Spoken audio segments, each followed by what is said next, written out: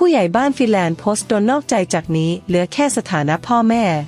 แห่ส่งกอดส่งกำลังใจให้รัวๆ เมื่อล่าสุดผู้ใหญ่บ้านฟินแลนด์ หรือบิ๊กทิติวุฒิวารุณ สามีนักร้องหมอลำชื่อดังแพรวพราว แสงทอง ออกมาโพสต์ข้อความตัดพ้อเกี่ยวกับเรื่องราวความรัก โดยระบุว่าพูดถึงเรื่องความซื่อสัตย์ต่อคนที่ผมรัก ผมก็ถวายหัวให้มาโดยตลอดทุกวินาที เพราะผมรู้ว่าผมมาจากที่ไหนและกำพืชผมเป็นใคร แต่สิ่งที่คอยได้รับตอบแทน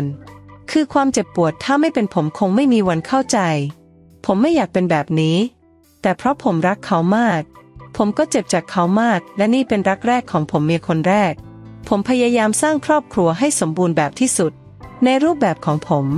ไม่ว่าจะทำอะไรก็นึกถึงหน้าลูกๆเสมอ จนตอนนี้มันเหมือนระเบิดที่นับเวลาถอยหลัง แต่บางทีคนเราเอาไม่ใช่ปูน ไม่ใช่เหล็กที่จะทนได้เสมอ ผมอาจจะไม่ดีพอสำหรับเขา ก็ยอมรับเพราะอายุน้อย และอาจจะไม่เพอร์เฟกสำหรับเขา แต่ผมไม่เคยคิดนอกใจเขาเลยแม้แต่สักนิดเดียว ก็มีแต่ก้มหน้าก้มตาทำมาหากิน สร้างเนื้อสร้างตัวเพื่อคนข้างหลัง มันผิดที่ผมยังอายุน้อย และผิดที่ผมไม่ดีเท่าที่เขาต้องการ แล้ววันนี้สิ่งที่ผมได้รับการตอบแทนจากความซื่อสัตย์คือ และบักผู้ชายคนนั้นมันเป็นใคร มันดีแค่ไหน ปล่อยให้หยามน้ำใจผมถึงขนาดนี้ทำไมไม่นึกถึงหัวอกผมบ้าง และปล่อยให้มันลอยหน้าลอยตา จนวินาทีนี้ ปล่อยให้มันเหยียบศักดิ์ศรีของความเป็นผัว และพ่อของลูกหรือแม้กระทั่งความเป็นผัวของหัวหน้าวง บักผู้ชายมันก็ไม่มีอย่างอาย ไม่มีความเป็นลูกผู้ชายก็รู้ว่าเขามีผัวมีลูกทำไมมึงถึงไม่ยอมถอย ถ้าผมไม่ดีตรงไหน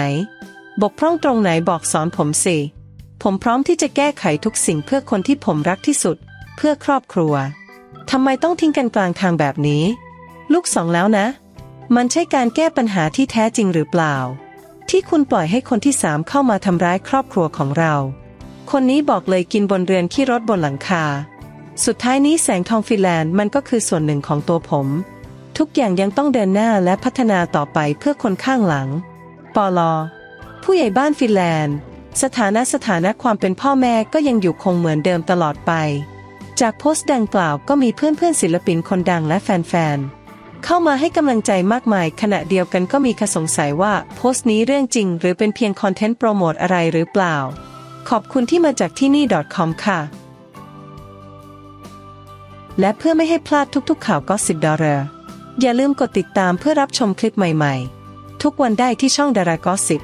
ขอบคุณทุกท่านสำหรับการรับชมและติดตามค่ะ